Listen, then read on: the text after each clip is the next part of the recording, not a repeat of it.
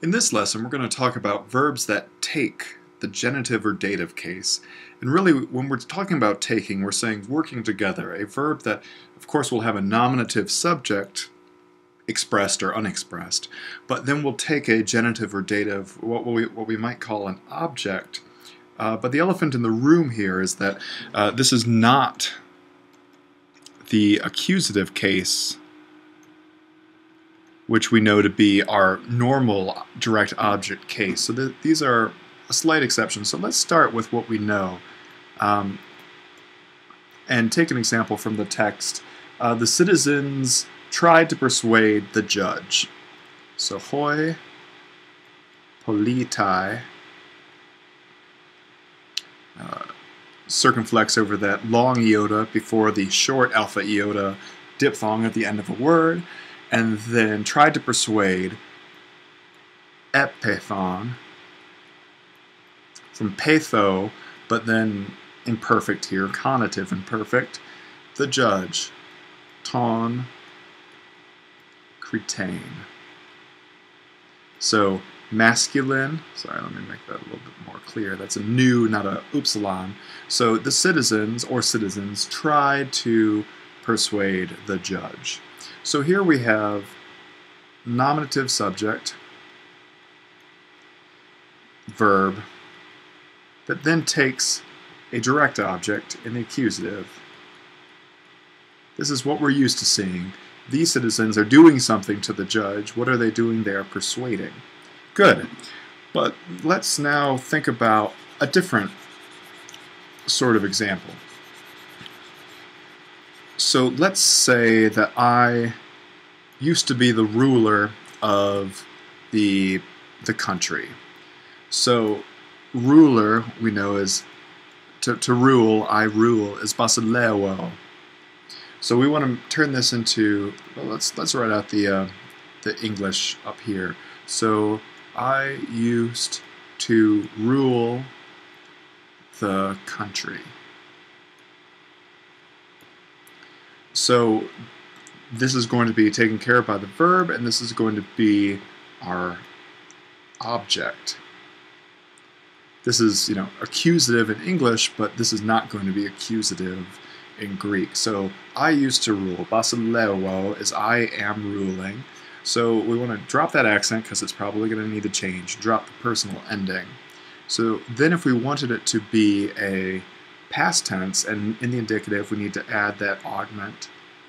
And then we want to make it first person imperfect, so that's an omicron nu ending. So e basileon. Short here skips over the diphthong. E bas, e basileon. I said that kind of awkwardly. Let me say that again. E basileon. I used to rule, and then we're talking about the country. Um, but we translate this as I used to rule, um, but really we might want to say that it means I was the ruler.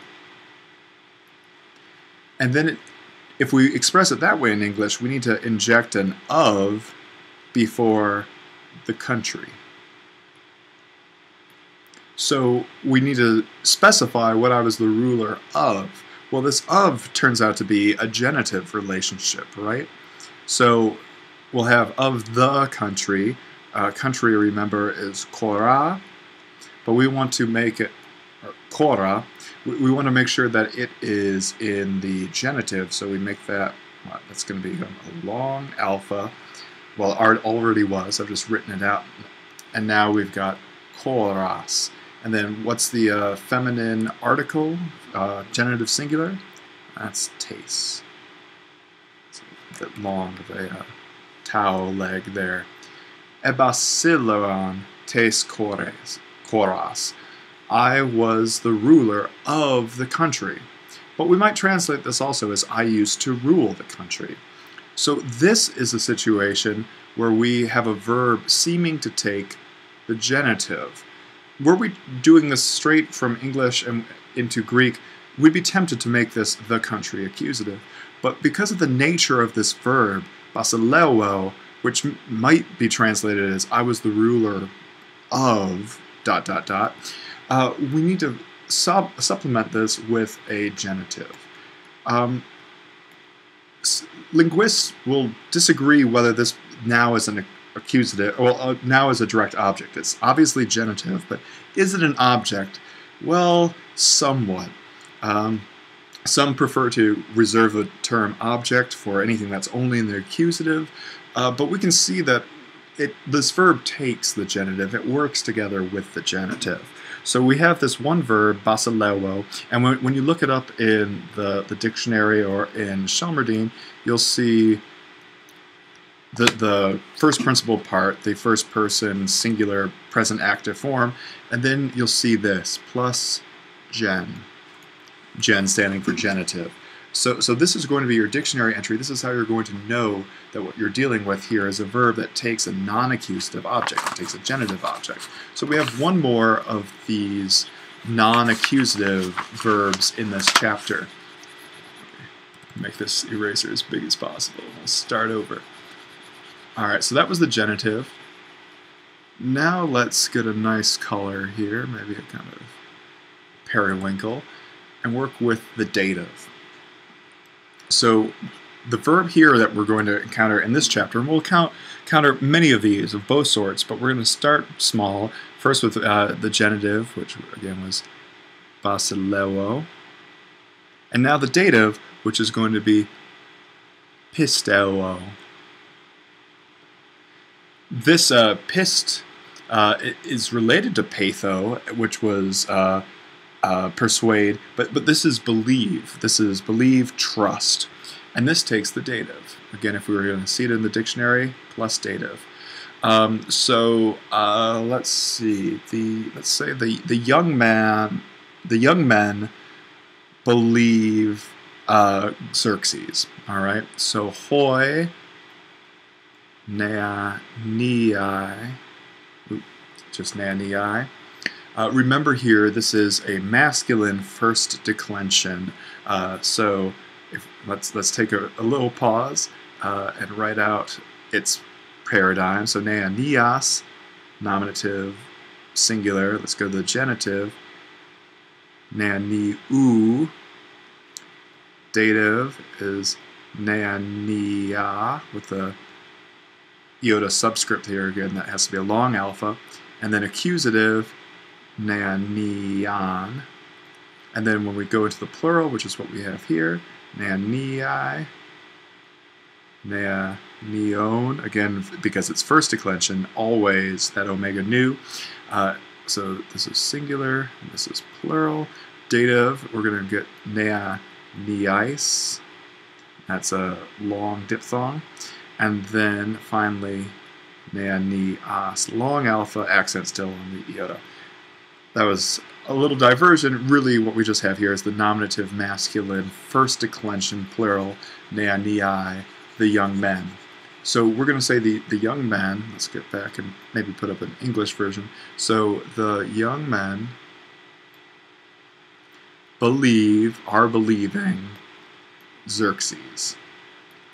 And let's imagine that we've already talked about this Xerxes. So if we get back into our kind of periwinkle, uh, we're going to want Xerxes to be in the dative. So he's masculine, so we're going to give him a masculine article. We're using the article to say the Xerxes because we've already talked about Xerxes in this fictional context. And now we want to make him um, a dative singular. So get our X sound, our epsilon. So there we have the two size, the capital and the lowercase. And now we want to make this Xerxes, which is a, let's give him the, the, the nominative form here, which is one of these type A long eta forms. So for the dative singular masculine, it has this iota subscript under the eta. The eta maintains though, and then the accent stays right there. So two or four Xerxes is what we have, but now we need to have the word for believe. So we have it up here, pisteuo. So let's write that out, pistel. So we have our stem, and then we have a third person plural here. The young men, masculine, but that doesn't matter for the purposes of uh, verb tense, or verb forms. So this is going to be pistaosi. And no need for the nu movable here because we're just following up uh, with a, a consonant here. So let me write that again. That was a little sloppy. Well, you all are used to this by now. All right, and then we there we have it, pistaosi. So short skips over. We're back, as always, with the present indicative active to the stem, pistaosi. The young man, young man, hoi neaniai, pistaosi to xerxi. So the young men believe, but we might want to say believe in or trust to. That's why we're having this dative here. This idea of belief isn't something hard. You're not hitting something, you're not moving something, you're driving. Same with ruling. These verbs that take a genitive or dative tend to pair with think concepts that aren't quite so physical. Of course, when you're ruling, you could be a tough ruler and really hit your, you know, uh, subjects, I suppose, but that's not the point. You're you're the ruler of something, and you believe in or for or to something. This is why this takes the dative. So the young men believe in Xerxes, and we could say that Xerxes was the ruler, you know, Basileuo, of Persia. That's how we would express that. So hopefully this is clear. Um, it's it's irregular. We're not going to know all the times that a certain verb would take a dative or genitive. It will never be something that's as physical as hitting or stopping or something like that, but uh, when, when, we get into concepts like rule and belief and a few others, uh, we're going to find that genitives and datives might pop up as what seem to be direct objects, but are really just kind of working together with the main verb. See you next time.